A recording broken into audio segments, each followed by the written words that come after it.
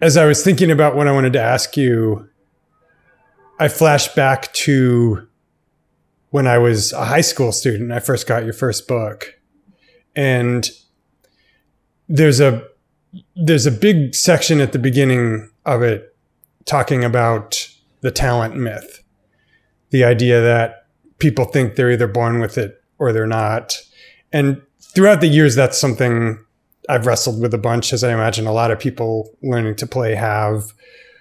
What's your kind of current view on nature versus versus nurture? Like, talent exists, but people overestimate it. Like, where, where do you fall on that these days? Well, I guess the first thing you need is exposure to something. And then it has to touch you in some way that makes you curious about it. And then, depending on how curious you are, you dedicate a certain amount of energy to investigating it. And the more energy you investigate, uh, you dedicate to investigating it, the more progress you make, the more understanding you have. Um, you know, I've been reading this Brad Mehldau book, and he talks about. Uh, he when he discovered he had perfect pitch. But I know a lot of people with perfect pitch that don't play that great. That talent seems to make them a little bit lazy, or they assume that that they can hear everything and know everything automatically.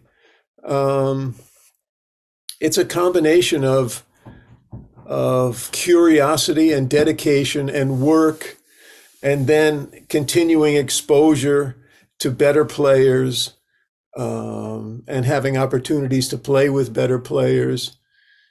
Uh, I think I think the talent is having the good fortune to find something you love and and sticking with it and continuing to love it for a long time. I mean, I've had some some really great students that um, you know, they're the best kid in their class when they're 10 years old. So they get more opportunities than everyone else. So they play, continue to expand and get gradually even more advanced than everybody else. And then it's time to think about college and, okay, well, what's the thing I do best? Well, I, I play drums. So they go to college. But there have been a few guys that have had revelations at age 21 that they didn't want the fact that they were the best drummer at age 10 to dictate the rest of their lives. Um, so it's it's that kind of continued passion that's part of it. And some of those guys, you know, have become doctors and lawyers and senators, and they're very successful away from music. So I'm happy that they found that other passion. Um, I guess those are my my thoughts on it. I don't remember if I ever asked you this, but what did that arc look like for you? Yeah, I was one of the two best kids in my elementary school. Uh, and then through high school, there was always somebody a little better than me.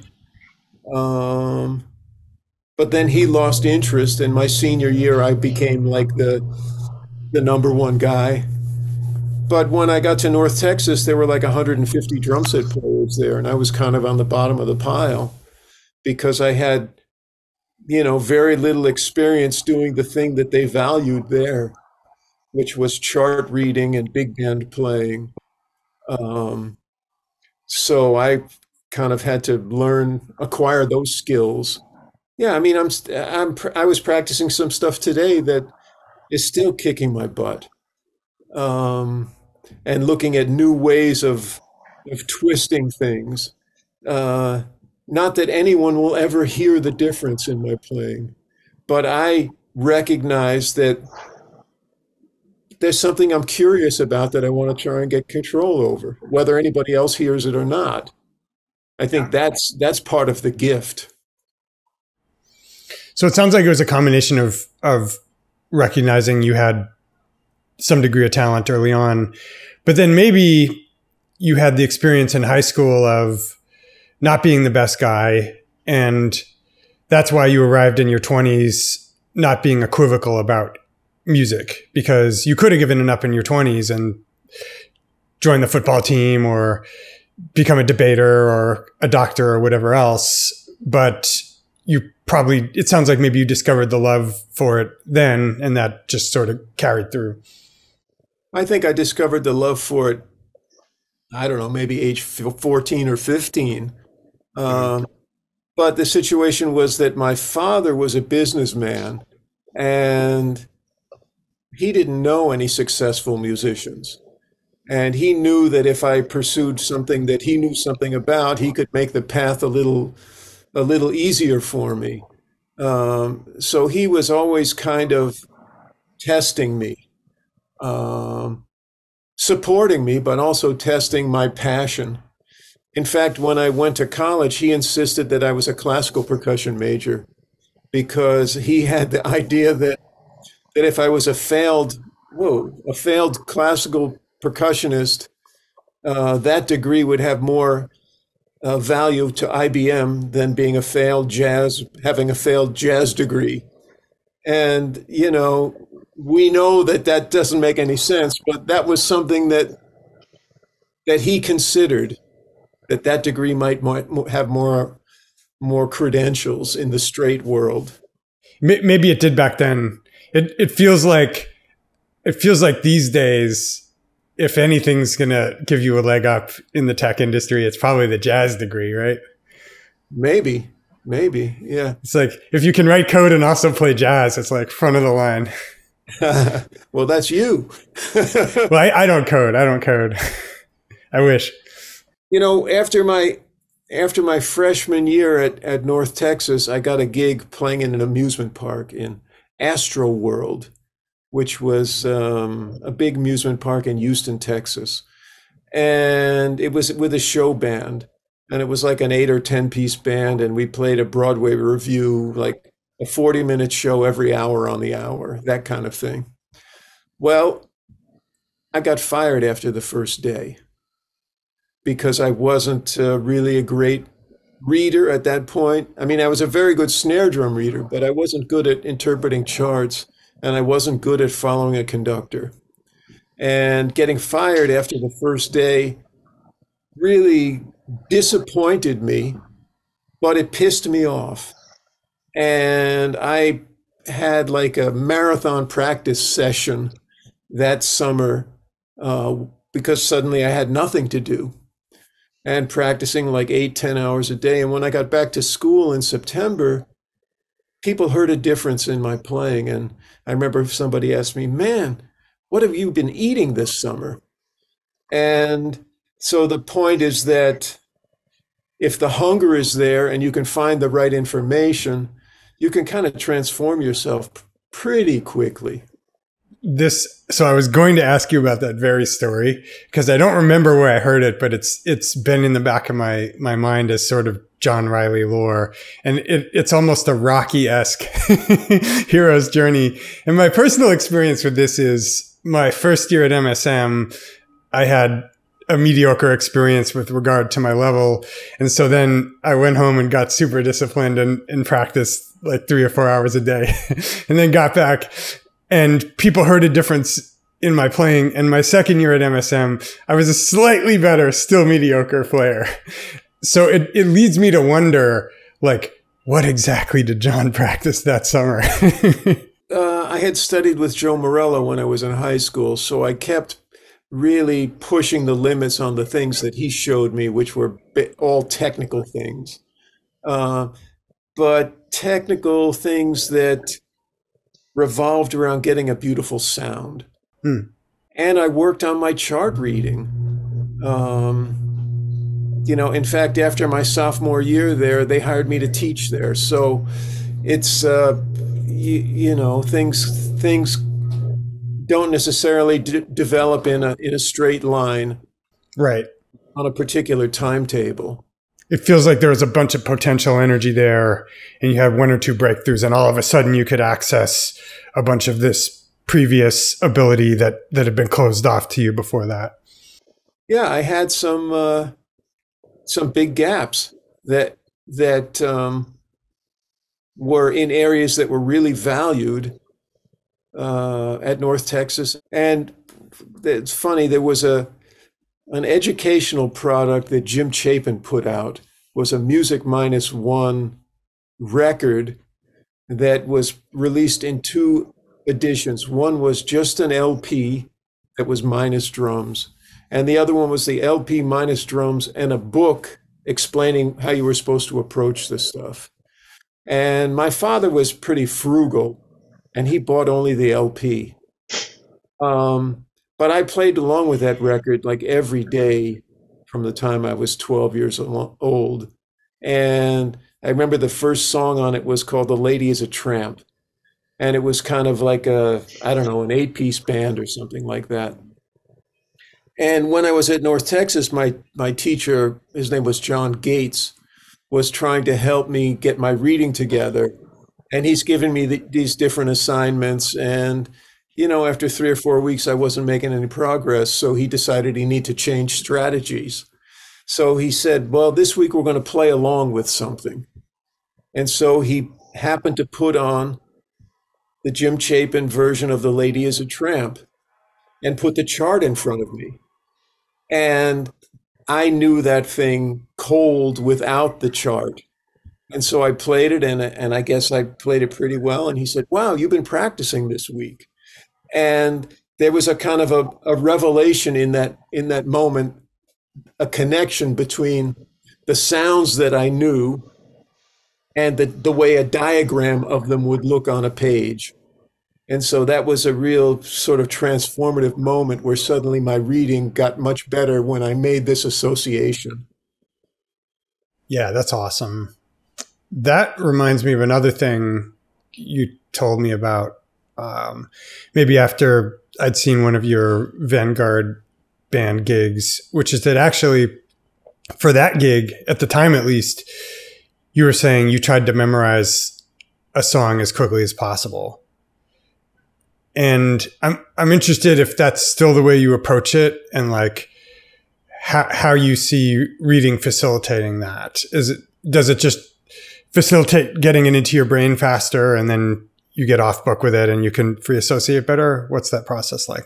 Well, I'm trying to relate to the events that are important uh, kind of on several levels. Like, let's say there's a big accent on beat four in measure seven. So I have a, in my mind, I know what that looks like on the page. And I know physically what it sounds, I know actually what it sounds like. I know physically what it feels like to play. And I know emotionally what it does to the flow of the music. So I'm kind of relating to these events with those four senses. What does it look like? What does it sound like? What does it feel like to play? And what does it do to the music?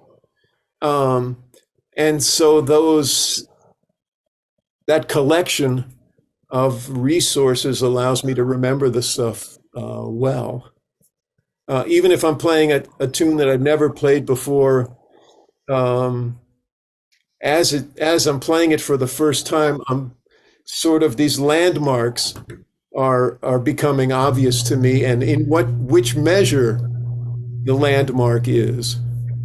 Um, so that's that's sort of the process. In terms of, I mean, there's like 300 songs in the Vanguard book, and I'm I'm reading. I'm not reading 95% of them, and I kind of made an executive decision years ago that I made a discovery that whenever I read the music, I tended to appro- to approach it in a similar fashion every time, and I was getting bored doing that. So I just decided, well, I'm going to trust that I know this music, and uh, I'm not going to pull the chart out. And that was that was really liberating. And instead of feeling like um, I have a job to do, it felt more like I was accompanying 16 Sonny Rollinses. And um, that gave me a, a kind of freedom musically that I didn't have when I was looking at the notes. Um, and I think it's been better for the band also because there's more uh, variety, and I'm trying to keep the thing alive. I don't want it to to be like a museum band. It's true. We're playing constantly. Everything we do is improvisation. We have the biggest dynamic range at our disposal. We're the most able to completely tank a gig if we want. we can ruin a gig if we want to. but we can also, you know, add a little spice or a little tension in a way that that makes everybody else pay attention and play with with greater intensity. Who were your biggest influences for big band drumming when you started really going deep on it? And are they the same influences as now? Well, I, I mean, I'd have to say Mel Lewis uh, and Buddy Rich. And there's some interesting records with uh, both Grady Tate and Mickey Roker. Um, uh, Jake Hanna. Hmm. Ed Soph was a big influence because he was a North Texas guy, a little bit, you know, maybe 10 years older than me. And what I heard in his playing was kind of a modern Roy Haynes ish vibe in a big band approach. And the fact that that there was an Ed Soph like a kid like me from the suburbs who had a pretty good jazz career. That was inspiring to me. Um, and he played great. Um, there was also a record, Joe Morello made a big band record. I think it's called It's About Time that, uh, that I listened to in high school. Um, I listened an awful lot to Buddy Rich swinging big band with West Side Story and all of that stuff on there. That that way of playing informed me, but it was never it never really infected me. Mm-hmm. But he's an absolute monster as well. Yeah, there's these Duke Pearson records with Grady Tate and with Mickey Roker that are really good. Um, there's a a Hermeto Pascoal record that's basically with the Thad Jones Mel Lewis band, with Hermeto playing piano and Airto playing drums. And uh, Airto sounds amazing in the big band. I remember two tunes in particular. One I think is called Pliers, and another one was called Yogurt. And the fills he played were so atypical, but so right for the music. It's interesting because when I listen to you with the Vanguard band, I hear a bunch of non big band influences too. Like, tell me if I'm crazy. I feel like I hear some Steve Gadd. Um, no? Well, that, Steve Gadd was a huge influence. David Garibaldi was a big influence. Um, Mike Clark was a big influence. Those guys were you know, the hot guys when I was a freshman, sophomore, junior in college. Uh, and they were active then. Um, so, yeah, of course, they influenced me. The groove, the clarity, um, the linearness of of uh, David and and Mike Clark, um, the clarity of Gadd's playing, especially, and and his pulse but also the thematicism. Like it always felt like, and and I remember this too when we, we used to shed like sit opposite each other in the lesson studio and just trade like um it it felt like there was such a development and redevelopment thread. Like no lick was just regurgitated.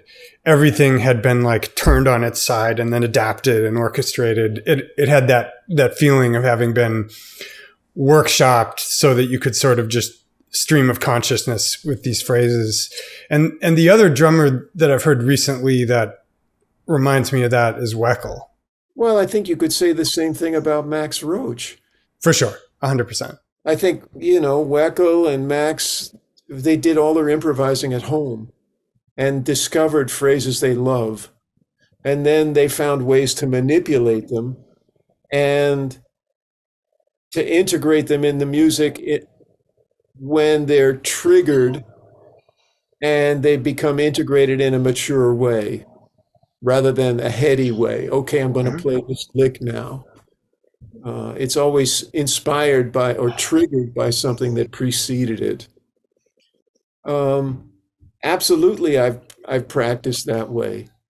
Um, I've got a book I could show you with all like a million little phrases that I'm trying to learn to manipulate. Um, sort of my practice log. And, you know, if I go back to the first page of it, a lot of it I don't remember how I arrived at that thing that I wrote down there. So each time I look at it, it's sort of rediscovery and some other branch comes out of it. Um, and so I'm looking at that as a sort of a catalog of, let's say, I don't want to say my material, but a catalog of things that I've stumbled upon um, that I'm embracing. How deliberate are you about what you practice these days versus just sitting down and you've got two hours and like see what occurs to you? Well, sometimes I just blow um, and see what what problems I discover, and then that leads to some sort of focused practice on things. But lately, let me grab this book lately I've had these periods of working with this book. He's holding up a copy of Even the Odds, a study of odd meters and rhythms for the drummer by Ralph Humphrey. Ralph Humphrey recently passed away. I think this book came out in the 70s or 80s. And um, the ideas are really nice, but um, I found ways to modify them and to, to fortify them there's all kinds of pencil marks in there. Um, play this one over this clave. Play this one with this right hand pattern, and and that kind of stuff. Uh, actually, I spent two hours on it last night, playing these phrases over a, over a a seven clave, um, and it kicked my butt. and I like when that happens. I'm I'm pausing because I'm I'm trying to trying to picture the seven clave in my head, and I, I know this is actually something we went over uh, in one of my lessons when I was at MSM. Oh, it's actually fourteen.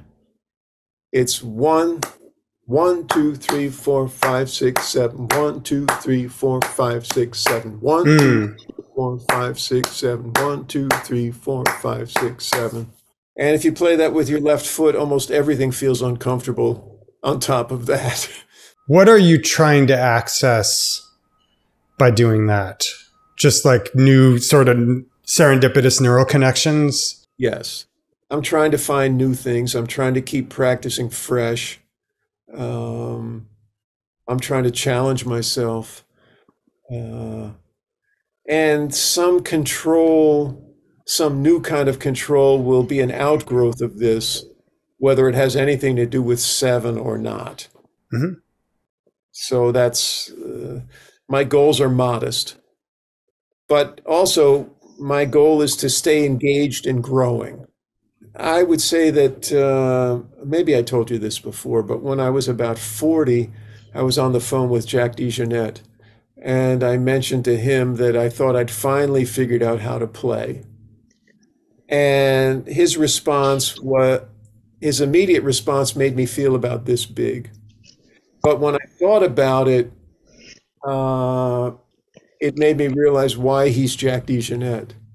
So I said, Yeah, you know, Jack, I, I feel like I finally figured out how to play. And he said, You know what, man? I feel exactly the same way. And that's what it's all about to, to have this feeling that you're still discovering things. Yeah. Actually, that that's a really interesting one. And that brings up that brings up something that I wasn't even thinking about, but that that is interesting to me, which is so now that I'm doing some teaching, I'll have students ask me, am I always going to feel inadequate? Am I always going to feel like I'm reaching for something that's ahead of me? Because I hear even great drummers say they're constantly learning. And my answer is usually no. You're going to reach a feeling of equanimity where you feel confident in most situations, but then you'll still be trying to trying to better yourself. Does that accord with your experience? And if so, like do you remember when you reached that that point? Oh, I don't know if I can put a finger on when I reached that point, but that does accord with my experience. Um, I think in one, maybe in the art of bop drumming, there's a quote from Mel Lewis where he says, um, "Even on my west, uh, even on my worst day, all business is taken care of." And so that's that's the point you want to get to. I mean, I suppose when when I got a call to join Woody Herman's band um, in 1978, uh, they sent me all the music beforehand, but I had already left my, to join them, and the music arrived at my house. So basically, I had to play the gig. Um, there is no rehearsal. The first night is the audition. Um, I guess when that when I succeeded there, um, that made me feel like uh, I don't know. I had I had enough resources to survive uh, in a tense situation. Yeah, and then that gives you the confidence to take on even bigger challenges because if yeah, if you're not up to the challenge locally, it feels like you've got some confidence in reserve. So you don't, you're not wondering if the drums are wrong for you writ large. Well, I would say even when I was in college and sort of on the bottom of the pile, I followed around the, the number one drummer every day and went to every rehearsal he played. And I learned repertoire that way, but I also saw how he act, reacted with other musicians you know, he became kind of a role model that um, his name was John Bryant. When I was at school, I sort of looked around to see which ensembles got got the most play and which players were the were the busiest ones. And so there was one ensemble that that everybody respected the most. And I made it my mission to become the drummer in that recital, in that ensemble.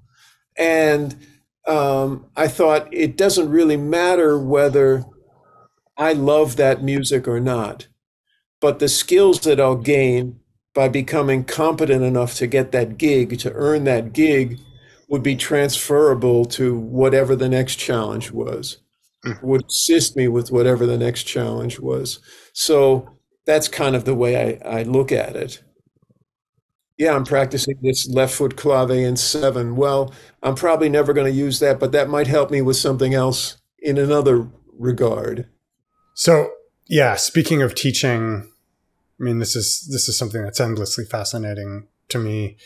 But I was in your studio at sort of the tail end of the analog era, just before YouTube and Instagram became a big thing. And of course, now everything's different. What's the biggest difference you see between your students now and say 20 years ago? Uh, well, people have access to everything, and some of it, some of everything is really high quality, and some of everything is not really high quality. But that being said, having access to everything seems to um, encourage people to dabble rather than really study something. I mean, I remember when uh, you mentioned Steve Gadd. I remember when I got that Chick Corea record, The Leprechaun, and Steve Gadd playing turned me upside down. And I went to the record store almost every day after that, looking for the next record that Steve Gadd was on and but I ended up it ended up being like nine months until there was another record. But I listened to that record every day for nine months. I can remember a Ralph Towner record called uh, Batik. I think uh, Jan Christensen was on it. I listened to that every day for months and months.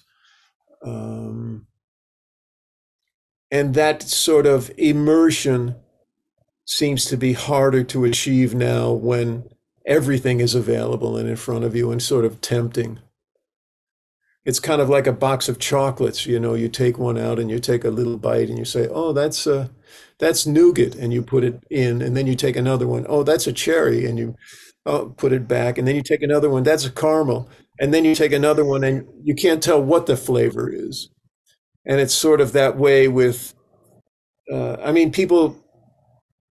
I have some really good students and I ask them, "Who's the drummer on Wayne Shorter's Speak No Evil?" And they don't know because they don't have the LP in front of them and they're not staring at it while they're listening to the, the record. Some things you can acquire quickly, and other things really require time to get deeply. And time seems to be uh, moving faster now, so people don't get some important stuff as deeply as they used to when they didn't have all these options. Who are their big influences these days if it's not Elvin? Well, some great drummers Marcus Gilmore, Bill Stewart, Ari Hoenig, Jeff Watts, um, Aaron Spears. Uh, there's so many. Uh, there's a drummer. I don't know if you've heard of him. His name is Nate Smith. He's playing really great and influencing people. Um, yeah, there's so many people playing at a high level, and they're they're all getting more exposure than in the old days. You find that the conversations about goals are different. I'm trying to think what I was what I was aimed toward when I was at MSM, but I suppose vaguely I wanted a career like somebody like Greg Hutchinson. Um, I I imagine now in this fully digital world, people probably aspire to be different things. Have have you had any have have you picked up any any threads as regards that? Well, you mentioned Greg Hutchinson and Brian Blade. I mean, I could mention so many great musicians who play drums that are influential now. The influence of, of gospel and hip hop has really uh, added another zone that jazz drummers uh, are pursuing. But I guess what I mean is in your conversations with students about their goals, are they are they still saying, I want to play with the Vanguard Orchestra or the Mingus Band or go on tour with my own group or are they saying I want to be the next Instagram star? Like has that has that changed? All of those, but I would I say and some of them want to be band leaders. I have a few students now that are that are making their own records. I don't know about the validity of that because the market is so flooded that um, it's going to be hard for it to get noticed, even if it's the greatest stuff. Do you have any strong opinions on career moves for somebody who's just graduating from college in 2023? Well, it's it, maybe it's different than in the old days, but in the old days, you tried to get a gig with somebody who was more established. Uh, that gave you a certain stamp of approval that opened other doors for you. And then maybe after a while, you put your own band together. Uh, if you have compositions that are worthy. There isn't sort of the apprentice situation that there used to be.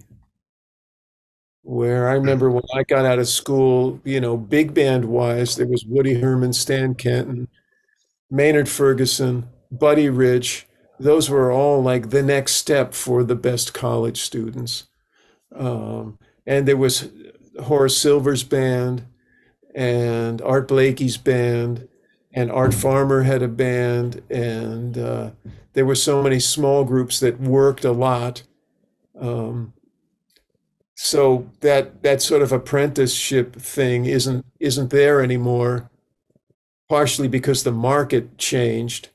That sort of circuit of small venues has disappeared in a way. Uh, but also the it seems like either you're a star or you're a struggling musician this sort of middle class level of musician i, I don't mean middle class I know exactly what you mean. business wise like art blakey and, and horace silver they weren't the stars that miles and sonny rollins were but they could work all the time uh, and that's that part of the business seems to have disappeared Yeah. and that's unfortunate. So that was an opportunity for you know a young Michael Brecker and a young Tom Harrell and and I mean even a young Branford Marsalis to uh, to get exposure um, and to work for a band leader that said, "Yeah, that's really good, but I don't want that here." You know, when Art Blakey says, "Don't play that way," um, you better wake up but nobody seems to say that anymore. They just uh, replace you. They say, "Yeah, it sounds great, but you're not on the next gig." Um, so that tough love of the old mentors, I think, uh, unfortunately, has has disappeared. Yeah, that's a that's a deep subject uh, all on its own. But I want to stick with teaching for a little bit. What do you think is the biggest thing that's changed about your approach to teaching since I was your student? I haven't given that any thought, but maybe it's more music based than technically based. Um, I think each student arrives with a, a collection of skills and aspirations. And I'm not trying to change anyone to make them play like me or to hold the sticks like me or anything like that. I think my my purpose is to try and expand the circle of skills that they have so that they intersect with the the aspirations that they have and to try and make that that path a little smoother. I think it's always been that way, but there have been focus uh, at one point I was more focused on sort of a traditional we do this and then we do this and then we do this and then we do this. And now um, I'm floating around a little more from week to week rather than having a sort of prescribed thing. But I will say that every week I go in to teach, I have something in my back pocket to challenge the students if if they don't bring anything to discuss. Yeah, and I, I think like I'm I'm very much at the sort of journeyman stage when it comes to teaching because you can have a bunch of conceptual ideas about how to approach something or about how drumming works or jazz drumming works. But then there's a whole piece of that interface missing, which is how does it land on another human being? Like what happens between your brain and their brain? And it seems to me that a lot of what the great teachers do is decoding how to transmit that information. Maybe sometimes it's not even verbally. Maybe it's by putting them in a context that's going to put them in touch with a feeling that they can then anchor off of. And, oh, this is what it feels like to swing in this instance. And then I can build things off of that. Yeah, that makes sense to me. Um, when I studied with Joe Morello, we almost never played the drum set. It was all on a practice pad, and and we would sit right next to each other, and there was a metronome between us, and there was a big mirror, like three feet in front of us, and I would watch his hands, and um, listen to the sound that he was getting, and try and emulate that. And I think because I was 16 or 17 years old at the time, I had the patience to then spend three hours every night working on that stuff. I don't see my students having that kind of patience these days. Um, that was really beneficial to me and has allowed me to avoid injury, um, and sort of maintain my chops all these years later. And um, I've introduced the, that kind of idea, those kinds of movement ideas, to some students that I saw that had potential problems, and very few of them uh, stick with it long enough to make any kind of change.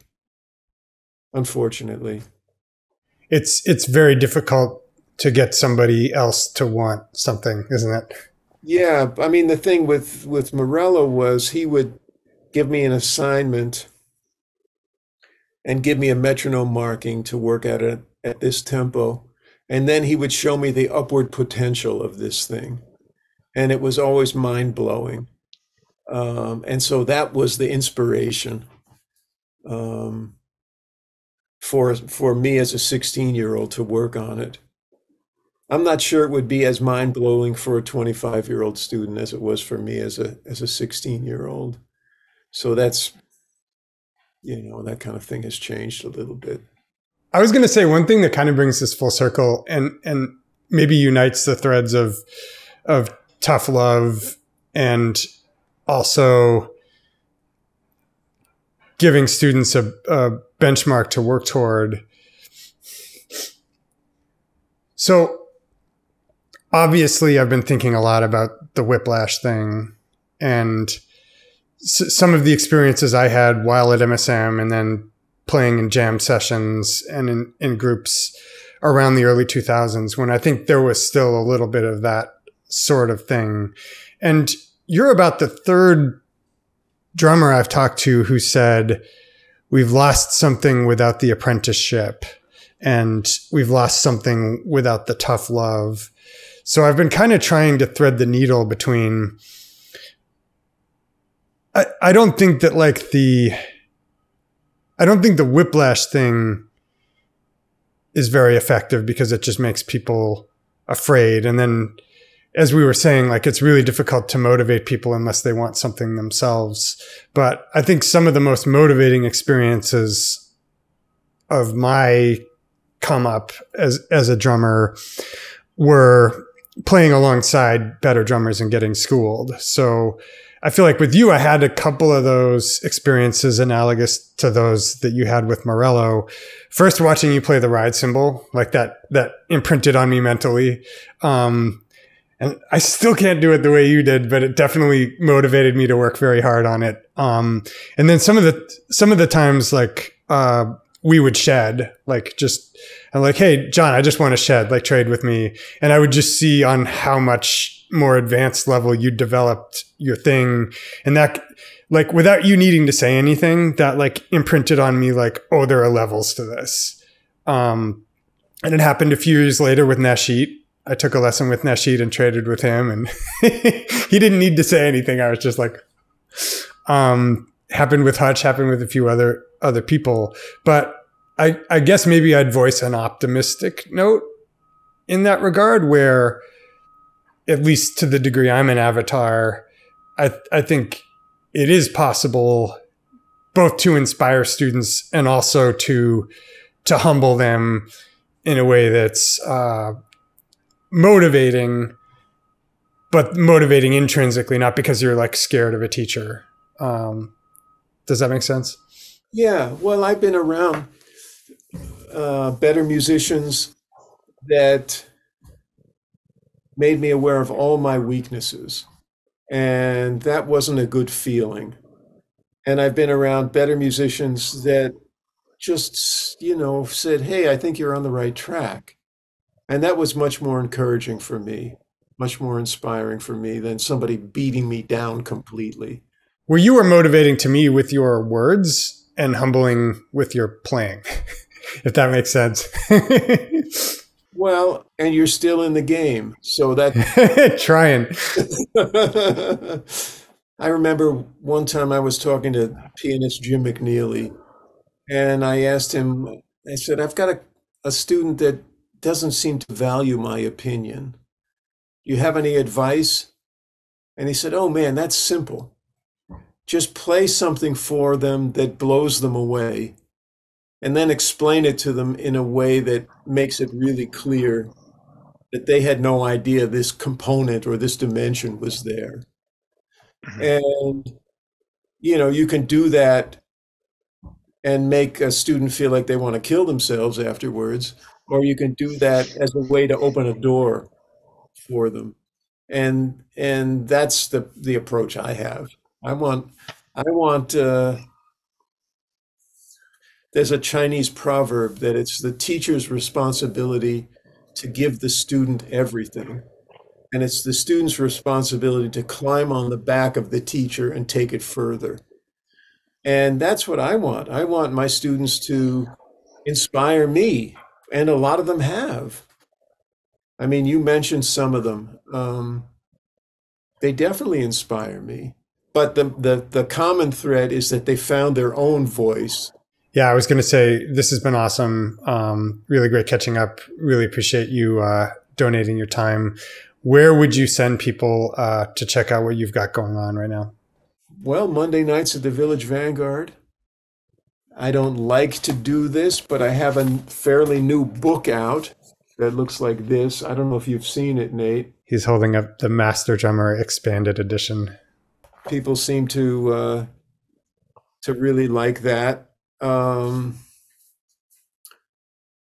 there's a couple of of recordings I made in contexts that people don't think of me in. Uh, some quartet records with a tenor player, Rich Perry. Uh, I feel very fortunate to to have had so many opportunities to play with people that I admired, um, and to continue doing that. Uh, and then to have so many students that were passionate and inspired me um, to find new ways to to help them move forward. Um, I I have no complaints. Wow, what a what a great conversation! So many great insights. So really, really dug it. I catch your 80-20 often, and and uh, really appreciate what you're doing. Oh, I appreciate that. Too kind, sir. Too kind. No, it's, well, just being honest. Thank you, sir. Thanks very much, Nate.